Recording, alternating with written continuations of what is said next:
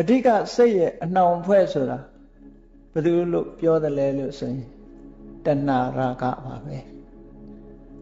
တဏှာရာဂဟာစိတ်ကလေးကိုလွှမ်းမိုးချုပ်ကင်ပြီးတော့နေလို့ထို့ထို့အာယုန်ဒီပေါ်မှာမမောတွေ့တာလို့စိတ်လေးဟာလွတ်လပ်မှုမရဘဲနဲ့နှောင်ဖွဲ့ထားခြင်းခံရလို့တန်တရားခရီးသွားတဲ့အခါမှာ ဆင်းရဲဒုက္ခအမျိုးမျိုးတွေတွေ့ကြုံခံစားကြတယ်သို့တော့စိတ်ကလေးဟာဒီစိတ်တင်မဟုတ်ဘူးဒီစိတ်ကလေးကထာဝရမြဲနေတာတော့မဟုတ်ဘူးအာယုံပေါ်လို့စိတ်ကလေးပေါ်ပေါ်လာတယ်ပေါ်ပေါ်လာတဲ့စိတ်အစဉ်အဆက်မှာစိတ်ပေါ်မှာမိတွယ်ပြီးတော့ဖြစ်ပေါ်လာတဲ့လောဘဒေါသစတဲ့အကုသိုလ်တရားတွေကစိတ်ကိုလွှမ်းမိုးချုပ်ကင်နေကြတယ် အဲ့ဒါကြောင့်မလို့တန်တရားဝုတ်ကမလွတ်နိုင်ကြဘူးအမှန်တရားကိုလည်းပဲသိရှိနိုင်စွမ်းမရှိကြဘူးဒါလူတွေရဲ့တတ္တဝါတွေရဲ့သဘာဝအခြေအနေတစ်ခုမြတ်စွာဘုရားကအဲ့ဒီအခြေအနေတွေကနေယုံထွက်နိုင်ဖို့အတွက်ဘယ်လိုလေ့ကျင့်ပြီးတော့စိတ်ကိုဖြူစင်စေတတ်တဲ့တရားတွေကိုစိတ်ထဲမှာအင်အားကောင်းလာအောင် ပြုစုပြောထောင်ရမလဲဆိုတဲ့ဤစနစ်တွေကိုပေးတာအဲ့ဒါလို့ကျင့်စဉ်ဤစနစ်နဲ့ပေးတဲ့စိတ်ကိုလုံးဝဖြူစင်စေနိုင်တဲ့အကျင့်တရားဆိုတာဘုရားမြတ်စွာရဲ့သာသနာတော်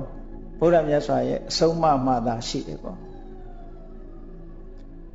တခြားမှာဆိုလို့ရှိရင်စိတ်ဖြူစင်အောင်လုပ်ဖို့စနစ်တကျလုပ်ဖို့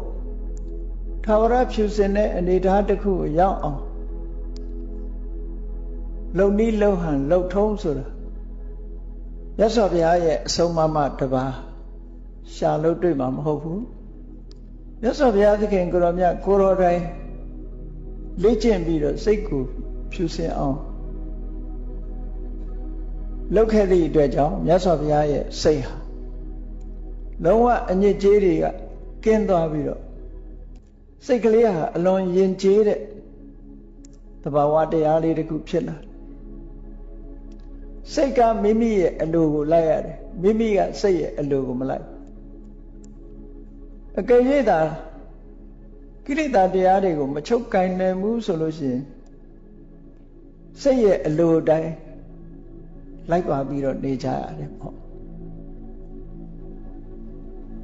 ညမစကားမှာပြောတယ်စိတ်သွားရာကိုပါ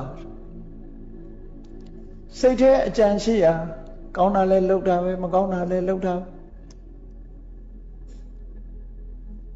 စကားတစ်ခုပြောတော့မယ်ဆိုလို့ရှင်လေစိတ်ထဲမှာစိတ်ကူးတယ်ကြံစီတယ်တွေးတော့တယ်အလုပ်တစ်ခုလုပ်တော့မယ်ဆိုလို့ရှင်လေစိတ်ထဲမှာကြံစီတယ်တွေးတော့တယ်စိတ်နဲ့ကြံစီတွေးတောပြီးတော့မှ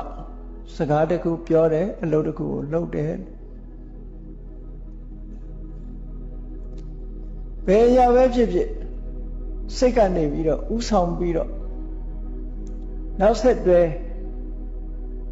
ကိုရဲ့လှုပ်ရှားမှုတွေနှုတ်ရဲ့လှုပ်ရှားမှုတွေဟာဖြစ်ပေါ်ပြီးတော့နေတာ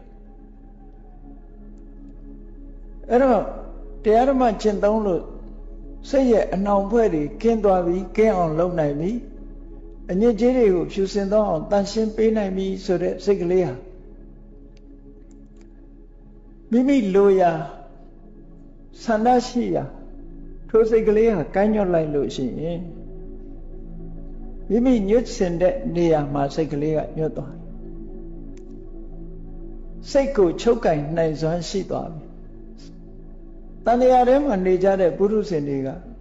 စိတ်ကိုချုပ်ကင်နိုင်စွမ်းမရှိဘူး စိတ်ကကိုယ်ကိုလွှမ်းမိုးပြီးတော့နေတယ်ဒါကြောင့်မို့စိတ်ရှိရာစိတ်ထင်ရာလောက်ကြတယ်ပြောကြတယ်ဆိုကြတယ်